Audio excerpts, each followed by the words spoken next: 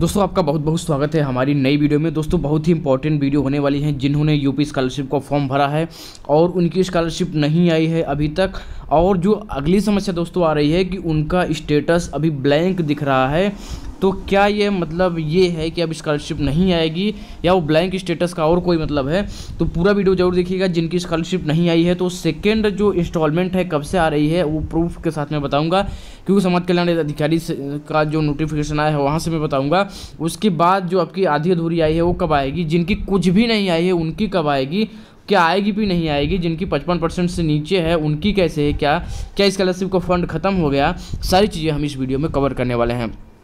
दोस्तों, सबसे पहले मैं बता दूँ, जिन भी स्टूडेंट्स की स्कॉलरशिप आ गई है, उनको लिए बधाई। जिनकी नहीं आती है, उनकी बात करते हैं। जिनकी नहीं आई है, यदि वो OBC general S C S T या माइनॉरिटी के स्टूडेंट्स हैं तो मैं बता दूँ कि उनकी स्कॉलरशिप हंड्रेड परसेंट अभी आएगी। आप यार घबराइए मत, बिल्कुल आएगी।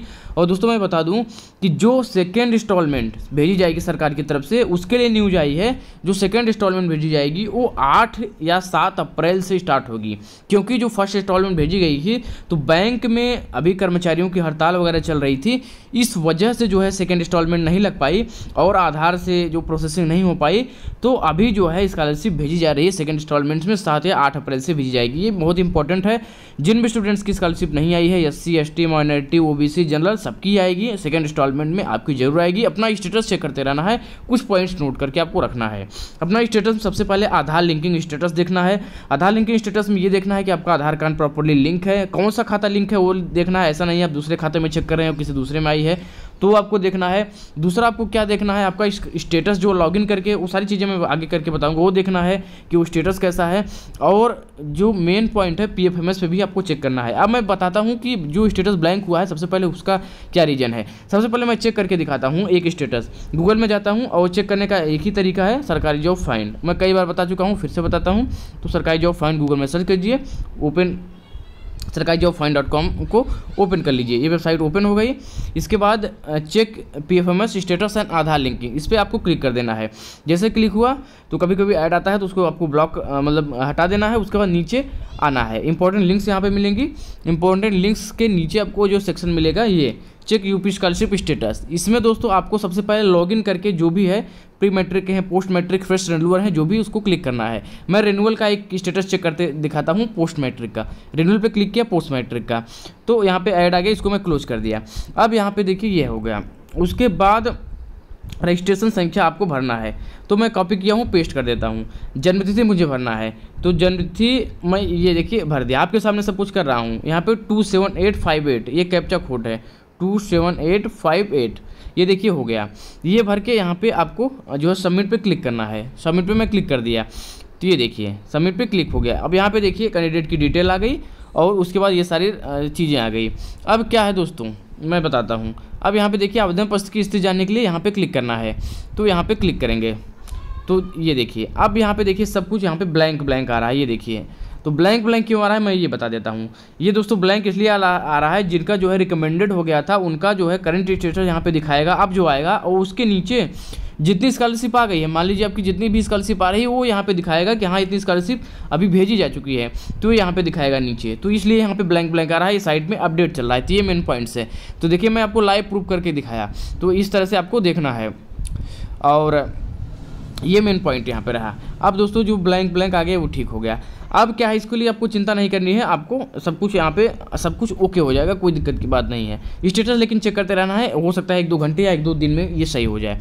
उसके बाद दोस्तों क्या करना है, अब आप आते हैं मेन पॉइंट पे। मेन पॉइंट ये है कि आपका जो ये वाला स्टेटस है, जो आधार लिंकिंग स्टेटस है, वो चेक करना है। वो कैसे चेक करना है, यहीं पे आना है साइट पे चेक ये फ़ेमस है आधार लिंकिंग स्टेटस उस पर क्लिक करना है। उसी साइट ओपन हो जाएगी जो है लिंक खुल जाएगी, नीचे आना है। इंपॉर्टेंट लिंक्स के सामने यहाँ पे check Aadhaar linking status with bank यहाँ के सामने क्लिक करना है। जैसे क्लिक करेंगे तो यहाँ पे आधार की साइड खुल जाएगी यहाँ पे आपको आधार और ये जो है जो है अपना सिक्योरिटी कोड करके ओ टी पी भिजवाना है। ओ टी पी भिजवाने के बाद आपको आएगा तो वहाँ पे आपको कौन सा बैंक लिंक है वो दिखा देगा। तो ये मेन पॉइंट्स है आधार ये सारी चीज़ें आप कंप्लीट तो करिए स्कॉलरशिप आपकी आएगी। अब दोस्तों मैं एक पॉइंट और बता देता हूँ कि सेकेंड शिप की स्कॉलरशिप कब से आना स्टार्ट होगी? सा, सारे स्टूडेंट परेशान हैं। सेकेंड शिप की स्कॉलरशिप के बारे में बात करें तो फ़र्स्ट शिप की स्कॉलरशिप में लगभग बीस लोगों की स्कॉलरशिप भी आई है। General O B C S C S T मिला के लगभग बीस परसेंट लोगों की स्कॉलरशिप आई है। मैं आपको पोल दिखा देता हूँ। पोल में दिखा देता हूँ कितने परसेंट लोगों की स्कॉलरशिप आई है। ये देखिए। ये देखिए, ये पोल है। यहाँ पे मैंने अपने टेलीग्राम चैनल से उठाया है। यहाँ पे आज किसकी स्कॉलरशिप आई है? तो सात परसेंट बोल रहे हैं, मेरी आ गई। नवासी परसेंट अभी बोल रहे हैं, मेरी नहीं आई। मतलब कि अभी बहुत लोगों की स्कॉलरशिप नहीं आई है। आप अकेले नहीं हैं। और मेरी पहले ही आ गई थी, चार परसेंट लोग बोल रहे हैं। आगे हम देखता हूँ कि बीएससी किसी स्कॉलरशिप किसी की आई?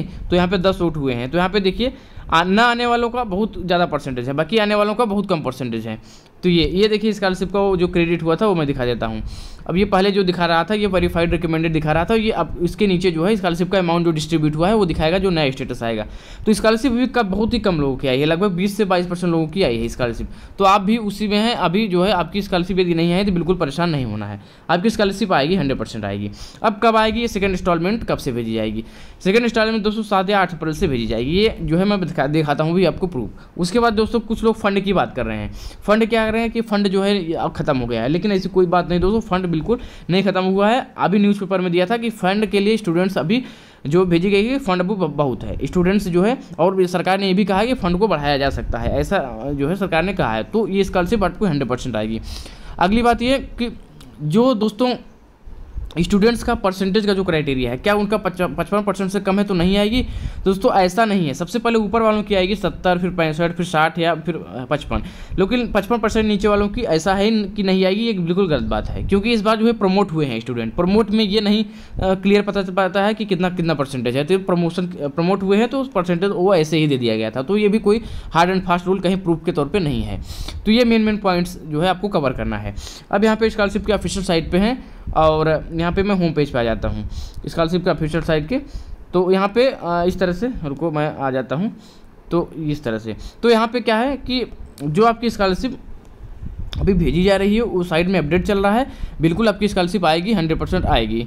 और जो है, आपकी स्कॉलरशिप हंड्रेड परसेंट आएगी। बिल्कुल आप इस तरह से मेन मेन पॉइंट्स को कवर करके रखिए। और आपकी स्कॉलरशिप हंड्रेड परसेंट आएगी। जिन स्टूडेंट्स की स्कॉलरशिप नहीं आई है, परेशान मत हो। आप सब कुछ सही है तो बिल्कुल आपकी स्कॉलरशिप हंड्रेड परसेंट आइए और आप चिंता मत कीजिए। तो ये वीडियो यहीं तक था। मुझे उम्मीद है आप सारी चीज़ें समझे होंगे। कोई और कमेंट से तो जो है सवाल है तो मुझे कमेंट से बताइए, मैं आपको रिप्लाई करूँगा। इस वीडियो में इतना ही दोस्तों, धन्यवाद।